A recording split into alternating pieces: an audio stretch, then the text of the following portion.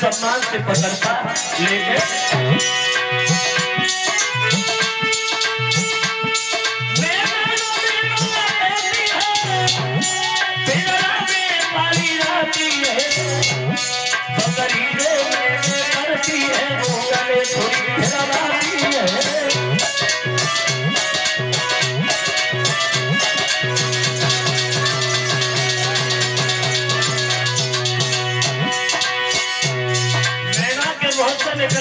मैना मैं कुछ नहीं हर आदमी से बड़े सम्मान से पकड़ता घर में रखता लेकिन बकरी के मुँह से घमंड भरा शब्द आता है कि मैं तो मैं किसी भी दुनिया में बकरी जो मैंने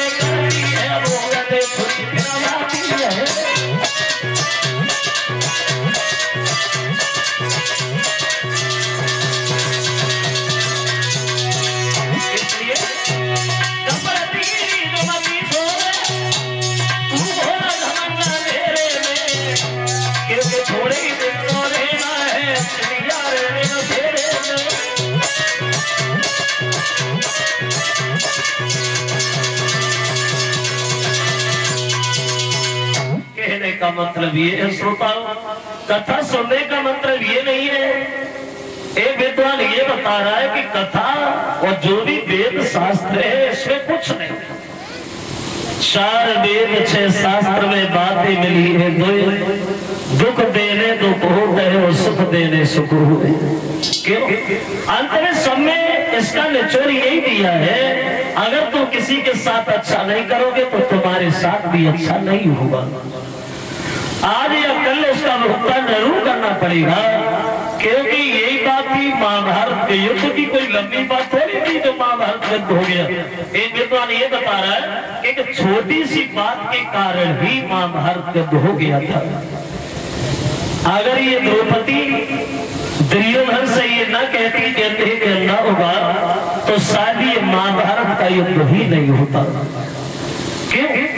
जब दुर्योधन थल समझ के जल में गिर गया तो द्रौपदी छत पे खड़ी थी तो खूब ताली मार के हँसी और एक घमंड भरी बात निकलेगी कि अंधे के ना हुआ तो ये बात उस दुर्योधन को बिल्कुल अच्छी नहीं लगी।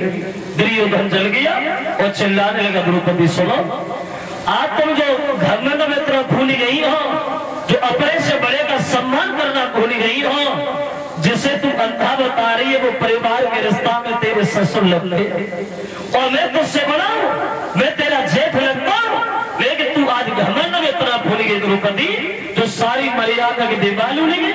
एक दिन वो होगा, जब तू अंधों के फत्ता में फंसेगी, तब तुझे पता चलेगा कि अंधे के अंधा होते हैं, ये आँखों वाले होते हैं। और वो द्रौ- दुर्योधन बोला है, द्रौपदी से।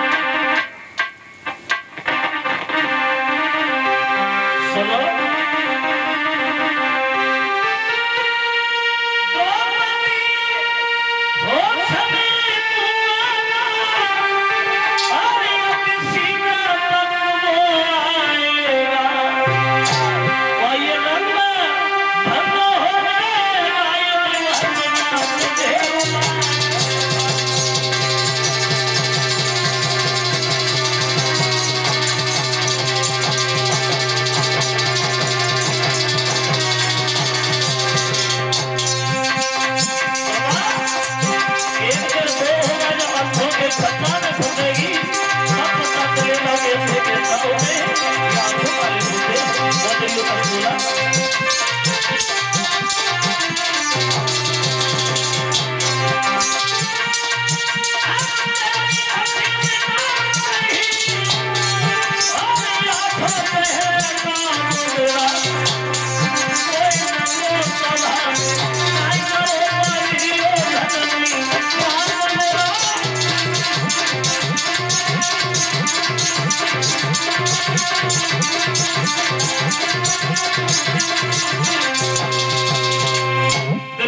बोला द्रौपदी। एक दिन वो होगा जब तू अंधों के फंदा में पड़ेगी, तब पता चलेगा कि अंधे के अंधा होते हैं या आँखों वाले होते। हैं